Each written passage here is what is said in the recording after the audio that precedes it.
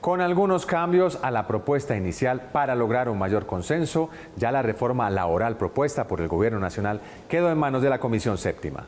Temas como las horas nocturnas o los pagos de dominicales son aspectos que se ajustaron para la ponencia positiva que se presentó y que tendrá aportes de varios representantes. La jornada nocturna empezará no desde las 6 de la tarde, sino desde las 7 de la noche. Hemos ganado entonces dos horas de recargo nocturno para los trabajadores y trabajadoras y hemos ganado una hora para los empleadores.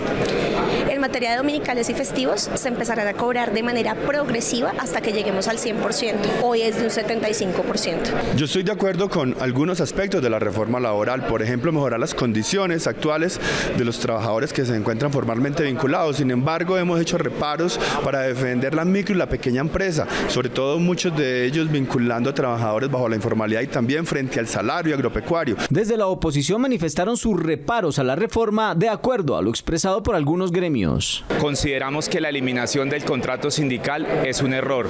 Pensamos que cargar con costos laborales exagerados a los empresarios, definitivamente lo que va es a destruir empleo. Por su parte, el partido de la U presentó una ponencia alternativa en cabeza de uno de los ponentes. Como tampoco compartimos la eliminación de los pactos colectivos, nosotros pensamos en una reforma justa donde hay que, proteger a los pequeños sectores y no se pueden equiparar con las grandes empresas. Ahora se espera que la Comisión Séptima inicie el primer debate de la reforma laboral tras el trámite de la reforma a la salud.